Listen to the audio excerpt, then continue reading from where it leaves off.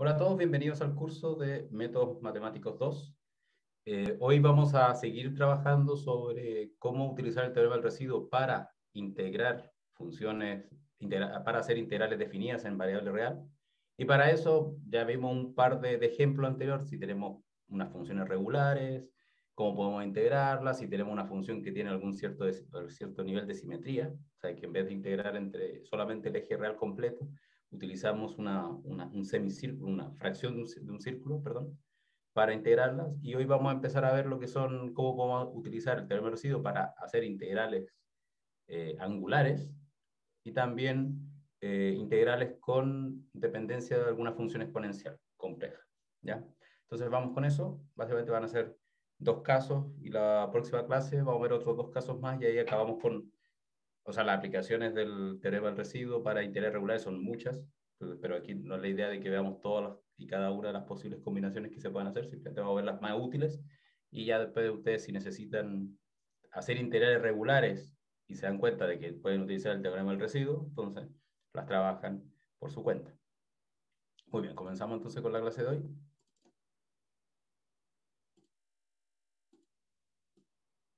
Muy bien, entonces, como les venía diciendo, hoy vamos a empezar a ver lo que son integrales eh, de funciones trigonométricas, o sea, definidas, por ejemplo, en un, en un, en un periodo de un ángulo. En este caso, eh, vamos a pensar en integrales que son de la forma integrales, por ejemplo, de 0 a 2pi, entre la, de, la, de una función que va a depender de senos y cosenos, o sea, funciones trigonométricas, integrado sobre la variable de teta. Entonces, ese es como el típico la típica integral que les va a aparecer en muchos casos, por ejemplo, si tienen que resolver un campo eléctrico, o etcétera, etcétera, donde tienen que integrar sobre alguna dependencia angular, están estudiando una ecuación de movimiento, donde quieren calcular la distancia recorrida, y ese movimiento es un movimiento que se mueve angularmente, entonces necesitan, sea como sea, integrar sobre algún nivel de funciones trigonométricas. En el caso simple, la integral va a ser una integral bien definida como la integral de coseno solamente, coseno de teta. La van a poder integrar sin necesidad de utilizar eh, el teorema del residuo, pero van a existir otros tipos de integrales donde eh, van a tener posibles divergencias, posibles puntos donde su, su, el integrando sea infinito. Y ahí en ese caso ya no es tan sencillo directamente integrar utilizando la, las herramientas que aprendieron en los cursos de eh, eh, cálculo integral. ¿ya? Entonces, en este caso, como pueden ver, como les decía, la integral a la cual nosotros vamos a tratar de, eh, vamos a poder resolver utilizando el teorema del residuo, son básicamente esta forma, integral de 0 a 2pi de una función eh, que va a depender de coseno o seno de teta o combinación de ambas y integrado sobre de teta. Entonces, acá vamos a hacer el primer cambio con respecto a lo que habíamos visto para los casos anteriores. Si se acuerdan de los casos anteriores, si nosotros teníamos una integral del estilo, eh, una integral i, ah, una integral i del estilo integral entre menos infinito e infinito de f de x de x, que eran los casos que habíamos visto antes, funciones regulares, lo que sea, aquí el cambio al plano complejo era directo. Nosotros decíamos f de x ahora va a ser f de z y por lo tanto vamos a poder hacer la integral de camino cerrado sobre el, un, circuito donde uno de los circuitos o uno de los, de los trayectos que tenemos que seguir con nuestra, con nuestra integral de camino tiene que ser el eje real. Entonces tenemos la integral y más otros términos que son las otras integrales que van por otros caminos. ¿ya? Este es el caso que vimos la clase anterior. Ahora, en el caso actual, eh, nosotros tenemos que hacer, ya no podemos directamente hacer el cambio tipo de 0 a 2pi, de f, por ejemplo, de coseno de teta, eh, de teta, y decir, bueno, yo ahora f de coseno de teta lo transformo en f de z y hago la integral como fuera antes. Podría funcionar, la cosa es que en el plano complejo ustedes estarían integrando en la variable real 0 hasta 2 pi, simplemente. Eso sería su, vez de color, ese sería su contorno de integración si es que hicieran el cambio directo a que 0 es el punto en el eje real 0 y 2pi es el punto en el eje, en el eje real 2pi. Y claro, tienen que hacer ya sea, tienen que pensar cómo hacer que se cierre el contorno para poder transformarlo en una integral de camino cerrado y poder utilizar el truco de, em, del el teorema del residuo. Pero ese sería el camino aplicando lo anterior directamente en este caso, pero en realidad uno puede trabajar en un sistema un poquito más simple, aprovechando de que son integrales que, por ejemplo, van de 0 a 2pi, eso quiere decir que están utilizando una variable angular. Entonces, en ese caso, nosotros vamos a, suponer que nuestro, nuestra variable es parte del círculo unitario. Entonces, ¿qué quiere decir eso? Básicamente, como nosotros bien sabemos que z, vamos a, lo podemos escribir utilizando la, la, notación, la, la representación en exponenciales complejas, vamos a asumir que nuestra variable es directamente eh, z igual e a la i teta. O sea, vale decir que el módulo de z es igual a 1. Por lo tanto, si nosotros lo viéramos en el plano complejo, la integral que nosotros queremos hacer, esta es la parte imaginaria, esta es la parte real, la integral que queremos hacer es básicamente una integral que va sobre una circunferencia centrada, centrada en el origen y con radio 1. Esta cosa tiene... Eh. Esta cosa tiene radio 1. Entonces, si queremos integrar de 0 a 2pi, partimos en 0, nos damos la vuelta y volvemos y llegamos a 2pi y ahí tenemos una integral cerrada. Entonces, en ese sentido, nuestra integral que queremos encontrar va a ser ya en su conjunto la integral cerrada de nuestro, de nuestro cálculo. O sea, nosotros lo que vamos a querer, sea como sea, es transformar nuestra integral que va de 0 a 2pi de f coseno teta seno teta de teta directamente va a ser igual a una integral cerrada sobre la circunferencia unitaria de una función g que va a depender de z de z. Entonces tenemos que encontrar cuánto vale g y cuánto vale de z en este contexto. Ya entonces, como estamos hablando siempre de funciones que dependen de funciones trigonométricas, o sea, que son combinaciones de funciones trigonométricas, nosotros ya sabemos que al utilizar el cambio z igual e a la i teta, eso va a implicar que, por ejemplo, coseno de teta, que ya sabemos que es la suma de e a la i teta con e a la menos i teta partido por 2, utilizando el reemplazo de que z es igual a e a la i teta, eso va a significar que coseno de teta se va a transformar en z más z a la menos 1 partido por 2, ya que 1 partido por e a la i teta es e a la menos i teta. Lo mismo va a pasar con seno de teta, salvo que hay que cambiar un signo y multiplicar por un factor i, dividir por un factor i. Entonces, en este caso, seno de teta va a ser z menos z a menos 1 partido por 2i.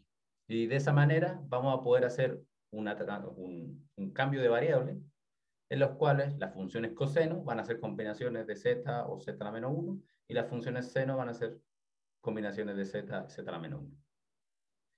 ¿Qué más es importante?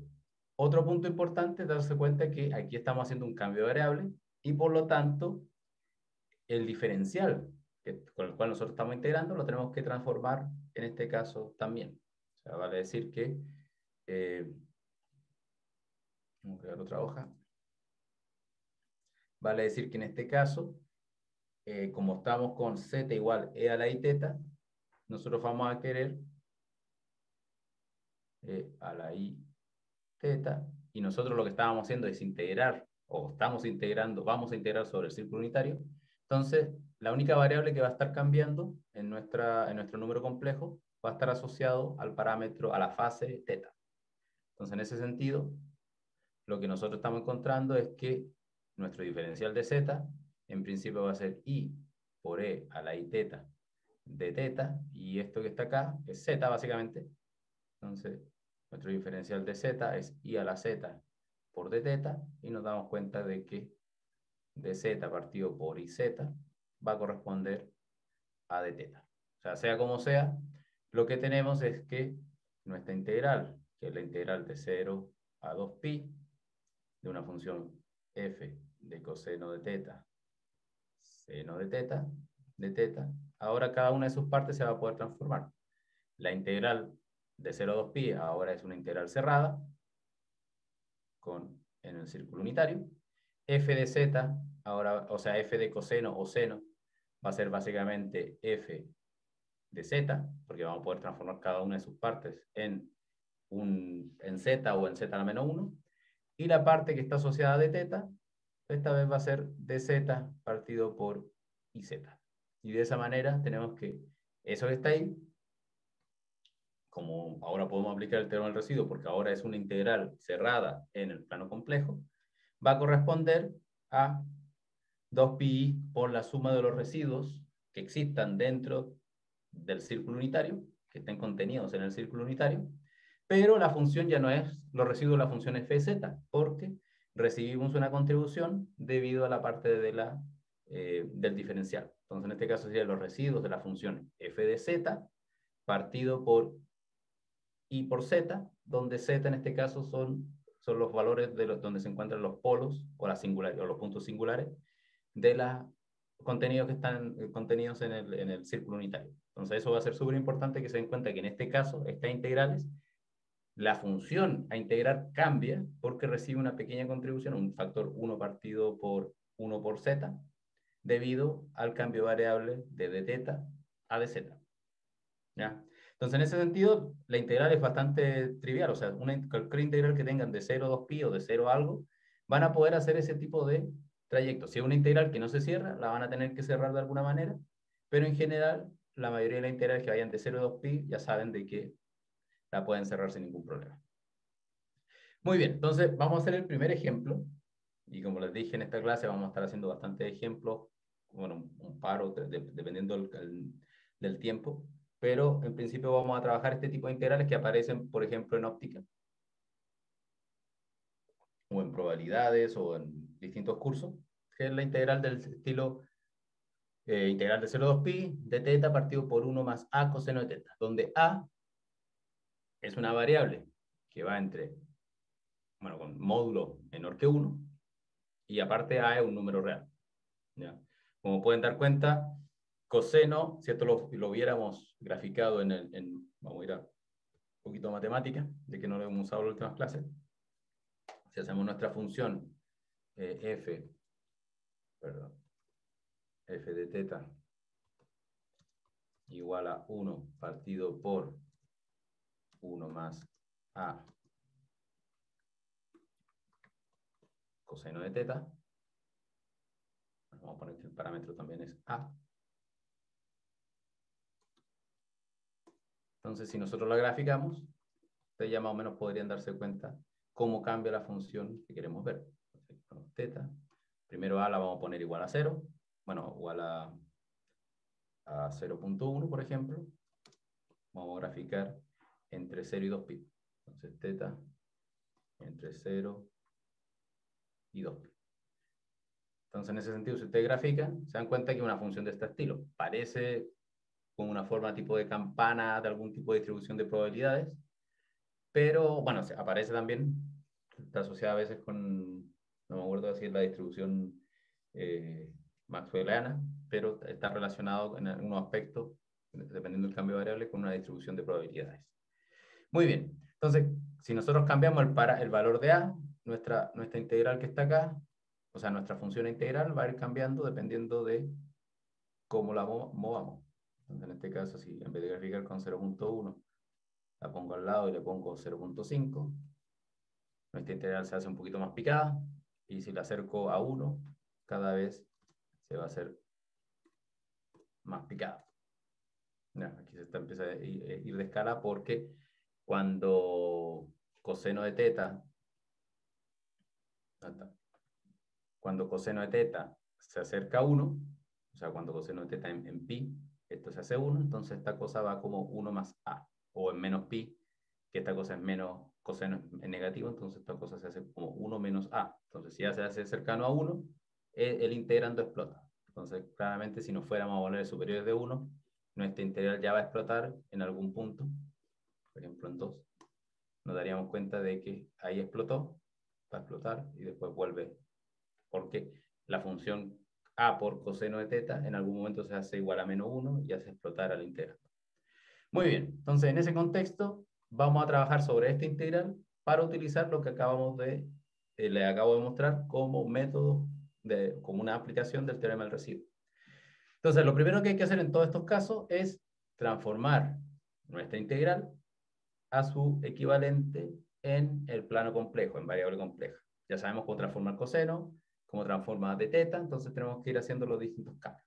Entonces, en este caso, como, como estamos viendo ahí, tenemos que eh, de teta es 1 más a coseno teta, eh, de teta se transforma en dz partido por iz, 1 a y coseno de teta es z más z a la menos 1 partido por 2.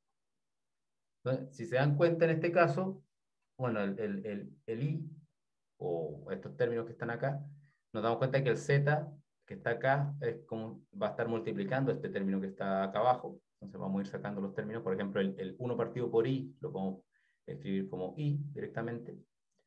Aquí nos quedamos con el de z arriba. Y el z queda multiplicando a lo de abajo. 1 más a z más z menos 1 partido por 2. Y por lo tanto hacemos la multiplicación correspondiente. Nos, ve, bueno, queda menos i de z. Y abajo nos queda z más a medios por z cuadrado.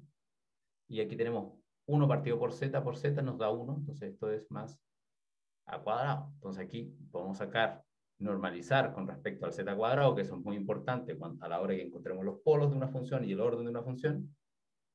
Entonces vamos a factorizar por el término a partido por 2, y esto nos va a quedar eh, menos i por 2 partido por a de z partido por eh, este factor que va a ser simplemente z cuadrado, después le va a venir el factor z, pero como factorizamos un término a medios, nos va a quedar más 2 partido por a por z, más el último factor que directamente a medio, entonces nos queda un, 1. Entonces, esta integral, o sea, este, este diferencial, que es básicamente eh, nuestra parte que va a trabajar para la integral misma, es lo que vamos a tener que eh, integrar ahora, utilizando la integral cerrada y el teorema del residuo. Muy bien. Entonces, ¿qué va a significar eso? Que nuestra integral ahora va a corresponder simplemente a 2i partido por a, integral cerrada sobre el círculo unitario, de z partido por z cuadrado más 2z partido por a más 1, que es lo que acabo de, de hacer. Entonces, esta es la integral a la cual nosotros, o por lo menos este es el integrando o la función a la cual nosotros le vamos a tener que calcular los residuos. Y como vemos, esta integral en principio, o sea, a simple vista, es una función racional, ya que una división de un polinomio con respecto a otro, un polinomio de orden 0 partido por un polinomio de orden 2, y por lo tanto necesitamos, ya sabemos a priori que en principio va a tener dos polos de orden 1 o un polo de orden 2, si es que se diera el caso, eh, que está relacionado con los ceros del denominador. O sea, cada vez que esta función abajo se haga cero, va a tener una singularidad y por lo tanto va a contribuir al residuo asociado, es que el, que el polo está dentro de la círculo unitario, va a contribuir al residuo de la función en, sí misma. Entonces, básicamente lo que tenemos que hacer es, esta integral que está acá, esta, perdón, este, este polinomio de orden 2, ya todo el mundo conoce cómo resolverlo. z más 1 igual a 0. Y aquí sabríamos que Z1 va a ser menos B, en este caso menos 2A más la raíz cuadrada de B cuadrado, 4A cuadrado menos 4AC, que sería 4 por A por C, que de X1, partido por 2A, que en este caso sería 2 simplemente, y esta cosa se va a traducir en ese 2 con ese 2 se cancela, el 2 con los 4 que están dentro de la raíz se cancela. Entonces esta cosa nos da menos, menos 1 partido por a más la raíz cuadrada de 1 partido por a cuadrado menos 1. Y de esa manera esto puedo factorizar por a y básicamente nos va a dar 1 más, o sea, menos 1 más eh, la raíz cuadrada de 1 menos a cuadrado partido por a. Y por lo tanto, la, otra raíz, el otro punto donde nuestro polinomio de orden 2 se va a hacer 0, va a corresponder al mismo caso simple con el, simplemente con el término negativo. 1 eh, menos a cuadrado. De esa manera, ya sabemos dónde nuestra función se va a anular. Como a es una variable real, menor que 1, notar, eh, ya sabemos dónde esta, esta, función tiene sus polos. por ejemplo, si nosotros ya sabemos cuánto vale a, podemos graficar dónde vamos a tener los, dónde van a estar los puntos regulares. Entonces, digamos, eh, antes de ir a matemática, nos damos cuenta que estas funciones que están acá, eh, voy a poner z, z más menos, z más menos que es menos 1 más menos la raíz de 1 menos a cuadrado y todo eso partido por a. Si a está entre 0 y 1, que son nuestros límites que nos impusieron para, para que tenga sentido integral, para que no tenga divergencia, la integral angular, nos damos cuenta que esto va a ser real y 1 menos a cuadrado va a ser siempre real, ya que a es menor que 1. Entonces, esto que está acá es un número real. Vive en la recta real, esos polos. ¿Ya? Entonces, en ese contexto sí podríamos graficarlo sin ningún problema. En este caso quisiéramos graficar los polos por sus formas que tienen, que son eh, menos 1 más la raíz cuadrada de 1 menos a cuadrado, a cuadrado y todo eso partido por a, que sería el primer caso.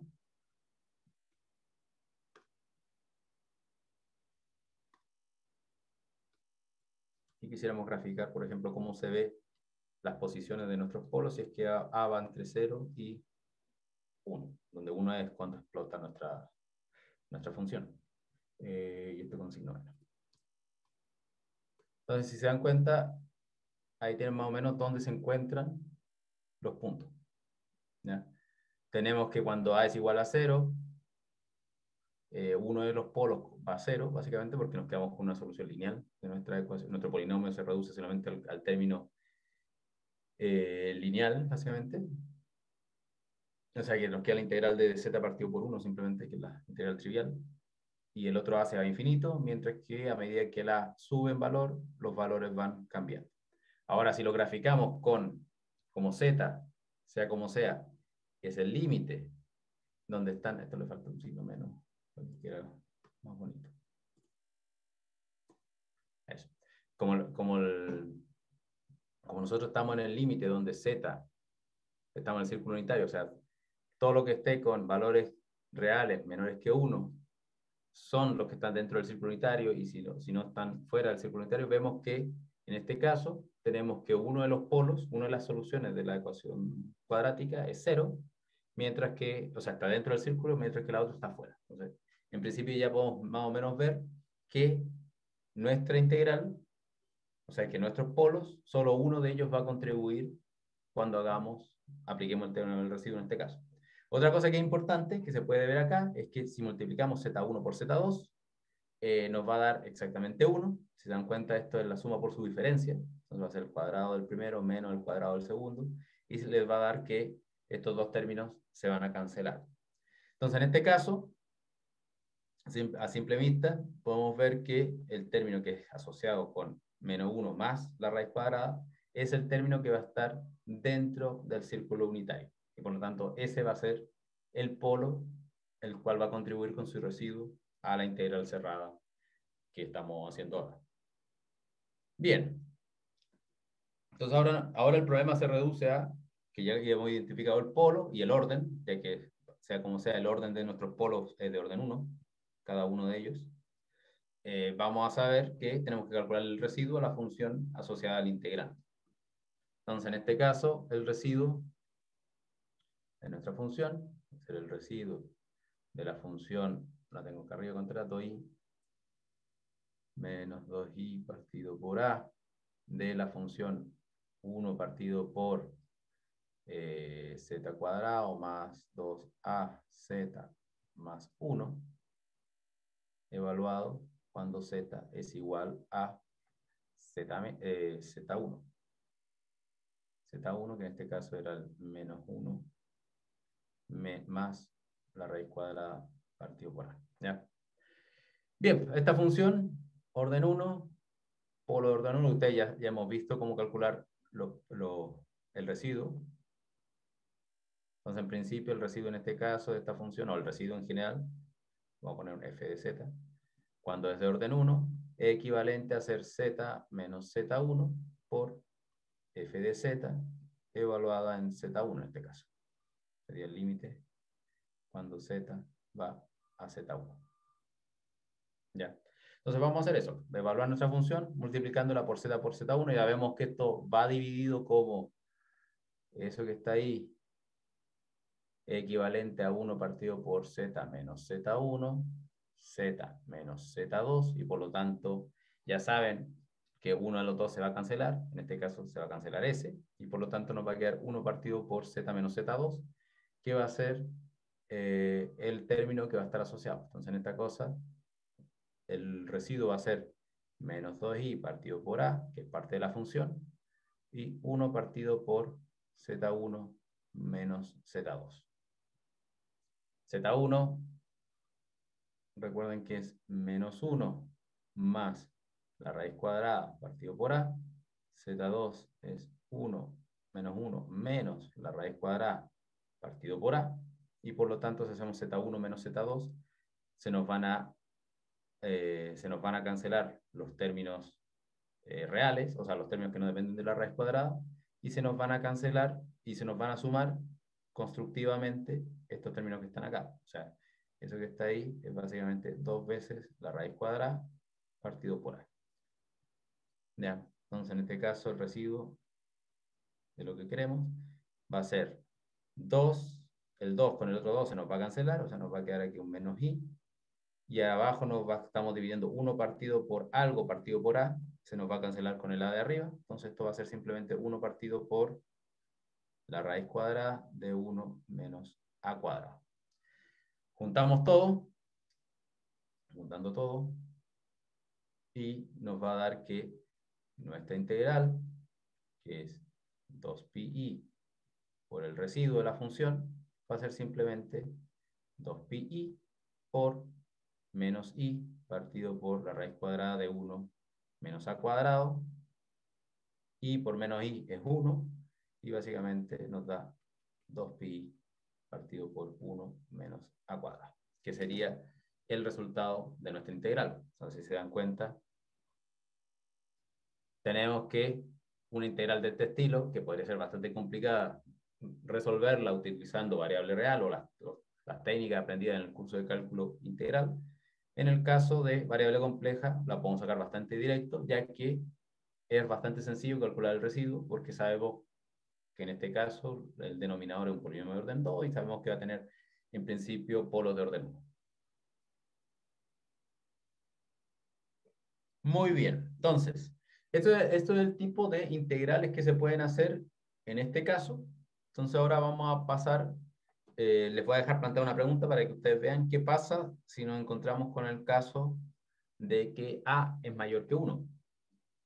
Ahora nuestra integral va a tener polos, o sea, la integral original, la de 1 partido por 1 más A coseno teta, va a tener divergencias cuando A por coseno teta sea menos 1.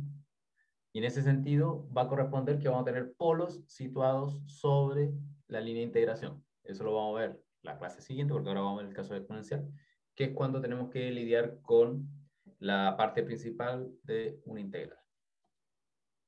Muy bien, entonces ese queda planteado como duda para que ustedes más o menos puedan cuestionarse un poco la materia que estamos viendo. Bien, entonces ahora el, otro caso que vamos a hacer van a ser las integrales de funciones multiplicadas por exponenciales complejas con argumento real. Básicamente, van las integrales que queremos calcular van a tener esta pinta.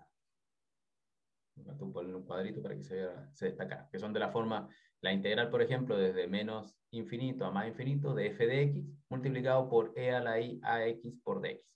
¿Qué tipo de integral incluyen estas? Incluyen las integrales trigonométricas, porque, sea como sea, como la exponencial compleja es, la podemos descomponer en términos de coseno y seno. Entonces, por ejemplo, nuestra integral, la que vamos a ver ahora, son simplemente integrales de este estilo. f de x por e a la i a x de x, pero sabemos que esto se puede separar en coseno más y seno, entonces eso va a ser equivalente a, la, a una integral de f de x por coseno de x de x, me faltó la a x, más otra integral que es por i, eh, que corresponde a f de x por seno de ax de x. Entonces tenemos una integral que la podemos pensar como la integral, la parte real de la integral, y esta otra parte que va a corresponder a la parte imaginaria de la integral que queremos calcular. Pero sea como sea, si tenemos coseno o seno, podemos calcularla de distintas maneras. Es más, dependiendo del valor que tenga A, vamos a poder calcularla así, o como una expansión. Por ejemplo, si A es igual a 2, esto es equivalente a E a la I X cuadrado, o sea, todo eso al cuadrado, y como bien sabemos, esto se descompone como un coseno cuadrado por seno, etcétera, etcétera, las relaciones que sabemos de prostaféresis, de las funciones trigonométricas. Entonces, este tipo de integrales es una familia completa, ya sea la integrales de coseno de alfa x, de ax, o también pueden ser integrales del estilo f de x, coseno de x a la n por seno de x a la m, debido a que, dependiendo cómo lo tomemos, acuerden la fórmula de De Moivre, eh, podemos utilizarla para descomponer la exponencial compleja en una familia completa. Entonces, tenemos en esta, en esta única integral que está acá, que es la que vamos a estudiar ahora, tenemos una familia completa de posibles integrales regulares que quisiéramos hacer. Esto en principio tiene una, eh, aplicaciones gigantescas, esta integral en sí, o sea, no la miren como un caso eh, de ejemplo básico, sino que tiene un montón de información, ya que esta forma en principio se conoce como la integral, o sea, la transformada de Fourier de la función f de x, donde una transformada de Fourier nos va a dar información, si lo están pensando como análisis de señales, les va a dar información sobre las frecuencias asociadas a una señal en, tiempo. Si lo están pensando, o sea, por ejemplo, cuando ustedes escuchan música y viene un ecualizador, que el ecualizador sube y baja dependiendo del espectro de frecuencia, básicamente eso se está calculando una transformada de Fourier en tiempo real, una transformada de Fourier rápida. Pero en principio, esto, la transformada de Fourier es aún más importante, ya que, por ejemplo, en mecánica cuántica existe una relación entre lo que es la posición y el momento, el principio de Heisenberg, y está relacionado donde una, una variable es lo que se conoce, como el, la variable eh, conjugada, que conjugada, donde están relacionados, por ejemplo, la posición está relacionada con el momento y la forma como se relaciona es a través de una transformada de Fourier. La energía está relacionada con el tiempo, donde ambas variables, al ser variables eh, conjugadas, eh, están relacionadas a través de una transformación de Fourier. Entonces, muchas de las características de la mecánica cuántica se basan en una integral de este estilo. O sea, que la, la función de onda sea una, una función que dependa, bueno, en principio ya partiendo del caso de que la función de onda es una función en variable, eh, variable compleja, es un número complejo, tenemos las relaciones entre cantidades físicas como el espacio y el momento, y, la, y, el, y el tiempo con la energía. Bien, aparte de ese paréntesis, entonces nosotros ya sabemos que si tenemos integrales de este estilo, donde van de menos infinito a más infinito, sea como sea, uno de los contornos tiene que pasar por el eje real tiene que corresponder al eje real. Entonces, en ese sentido, al igual que hicimos con las funciones eh, regulares, vamos a tener que es una integral cerrada de f de z, vamos a hacer el cambio directo de z de x a z directamente, de f de z por e a la iz de z, donde nuestra integral va a ser la que corresponda a la parte real y vamos a, vamos a integrar o sea, el resto de la integral va a ser el contorno necesario para cerrar el sistema, para que se cierre la integral de contorno. Y eso va a corresponder, como bien sabemos, teorema del residuo, eh, a 2pi por la suma de los residuos asociados a los polos contenidos dentro de la región que estamos encerrando.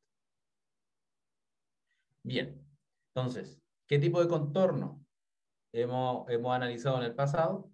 El sistema más sencillo por lo general es utilizar una, una, un contorno de un semicírculo o circular, angular, donde el radio lo vamos a tirar a infinito, pero queremos que esa otra integral, la integral que va sobre eh, la circunferencia, se vaya a cero cuando nuestro radio sea infinito. Entonces eso ya va a imponer ciertos niveles de restricción sobre el tipo de función que vamos a poder integrar. Entonces, por ejemplo, eh, como les decía, vamos a tener dos tipos de contorno. El contorno, vamos a poner el contorno que va por el eje real y el contorno que se regresa. Este es radio R. Y nosotros sabemos que esa integral que está acá va a corresponder a esta integral que queremos calcular. Y esa integral que está acá va a corresponder a esta IR.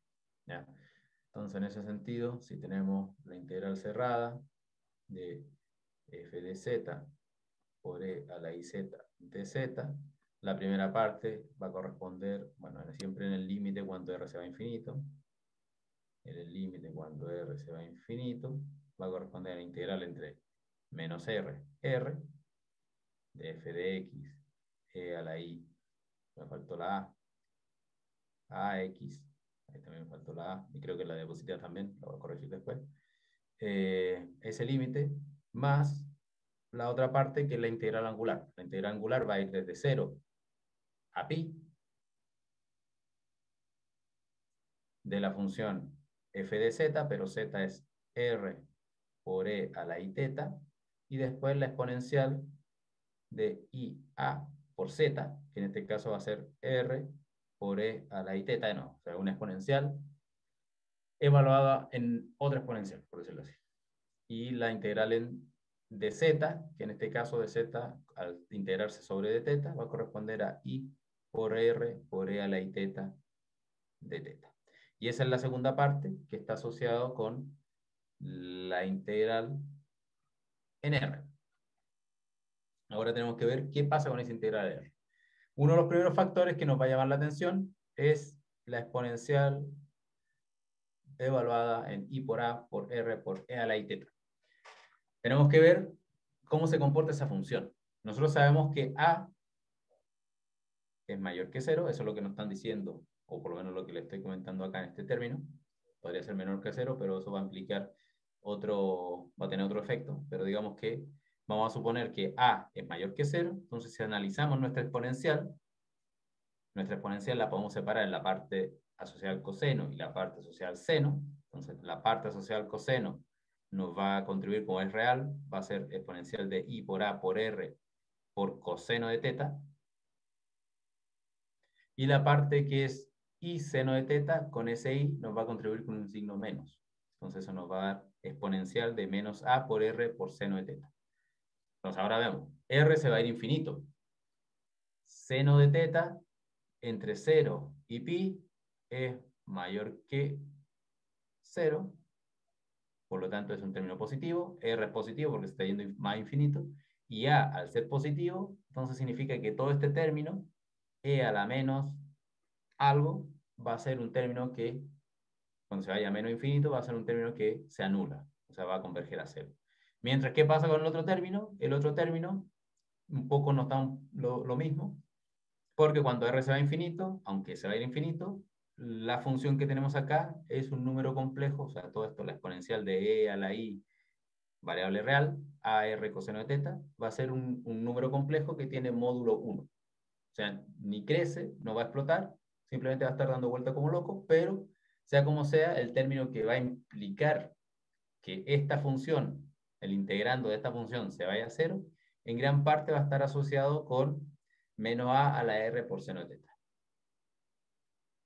De esa manera vamos a poder resolver un gran problema. Ahora, ¿qué otra cosa vamos a necesitar? Porque esta integral, cuando estemos justamente en cero cuando estemos justamente en pi, seno de teta es cero, eso significa que esta integral va a ser e a la menos a por r, a por e a la, a la 1, básicamente va a ser e.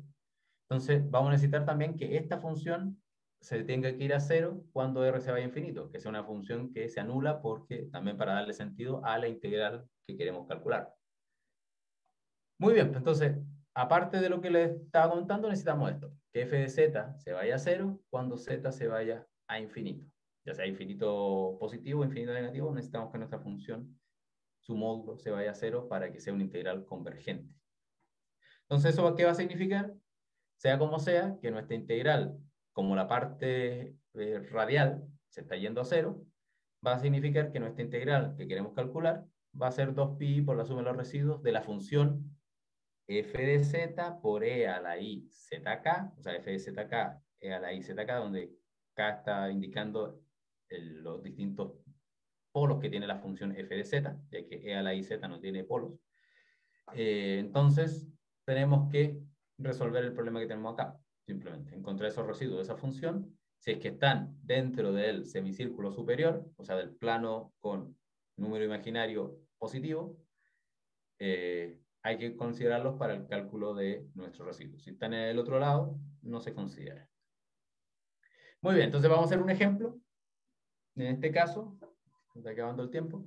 Y tenemos el, esta integral, que es una integral también del estilo eh, tipo la integral de cero infinito, de cero infinito de coseno de x de x partido por x cuadrado más 1. Es una integral que les puede aparecer en muchos, en muchos cursos, especialmente tal vez en óptica. Entonces, en este caso, la función... Eh, acá. La función va a tener la misma pinta, solo que eh, vamos a graficarla de distintas formas. Entonces tenemos coseno de... Vamos a coseno de x, para que no lo confundan con coseno de x ya no existe la función de x partido por x cuadrado, x cuadrado más 1. Ya, entonces si nosotros graficamos esta función, f de x, x entre menos, lo voy a poner entre menos 10 y 10, y no podemos graficarla hasta infinito, se dan cuenta que es una función que tiene esta pinta, lo, lo podemos hacer más. Vamos entre 100 y 100 es una función que es oscilatoria porque tiene el coseno enfrente, pero a medida que se va a infinito, se está yendo a cero. O sea, esto nosotros lo podríamos acotar básicamente utilizando, nos quitamos la parte, la parte oscilatoria del coseno y simplemente hacemos la envolvente, o básicamente cómo se comporta la parte que no depende del coseno. Entonces se dan cuenta de que quien está guiando que la función se anule es la parte de 1 partido por x cuadrado más 1, ya sea la parte positiva, o la parte negativa, que sería la parte inferior. Entonces, entre medio de esos dos valores, nuestra integral, nuestro integrando está oscilando. Nosotros sabemos que 1 partido por x cuadrado más 1 es una integral que tiene valor definido. Entonces, no deberíamos esperar que nuestra integral no tuviera un valor definido. Simplemente hay que analizarla con calma.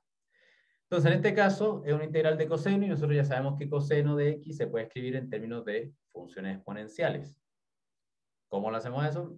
Simplemente eh, trabajando un poquito el álgebra. Entonces, tenemos que coseno de x partido por x cuadrado más 1, lo vamos a transformar a, su versión de z. Entonces nos queda coseno de z partido por z cuadrado más 1 y eso va a ser igual a coseno es e a la i z más e a la menos i z partido por 2, aquí no me aparece un factor 2, z cuadrado más 1, y nosotros estamos haciendo la integral de esto.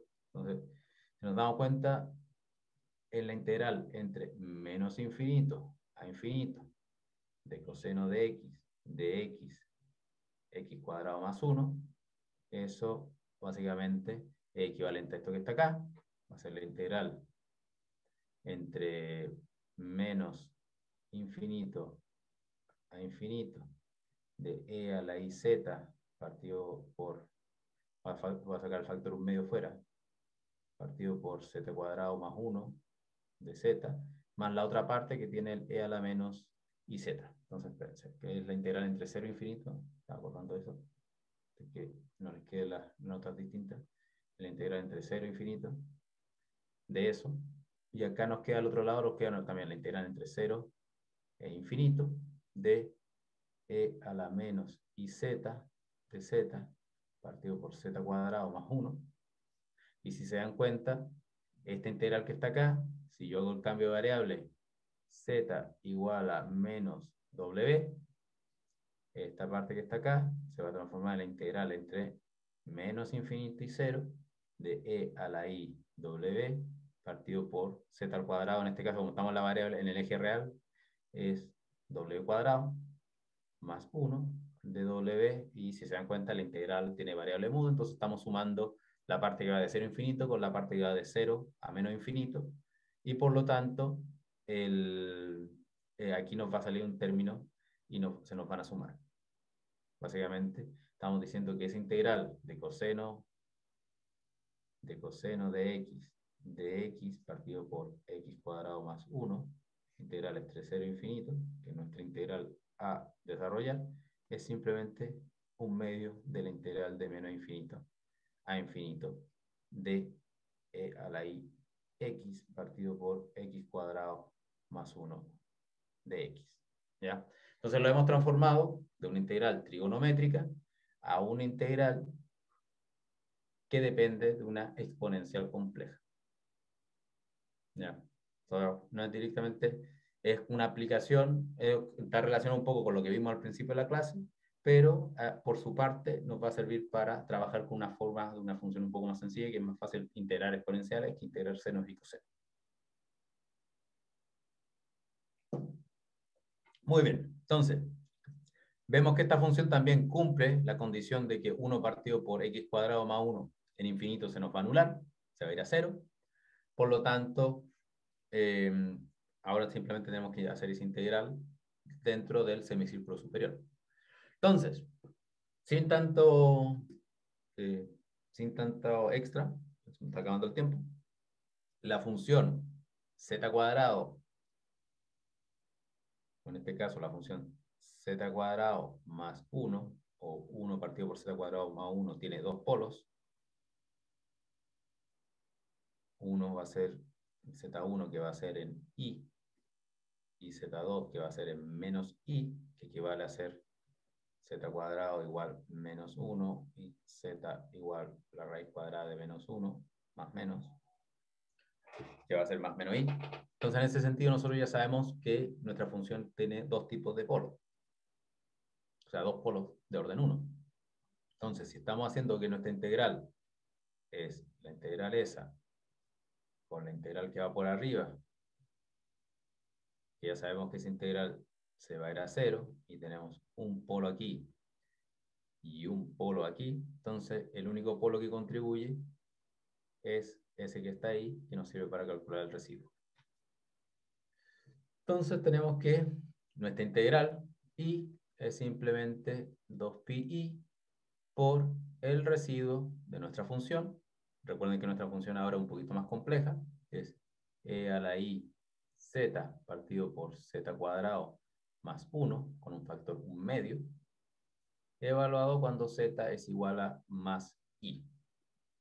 Entonces tenemos que calcular este, este residuo, y en este caso el residuo de esa función, recuerden, va a ser el límite cuando z se vaya a i de z eh, menos i, multiplicando a 1 partido por 2 eh, a la i z.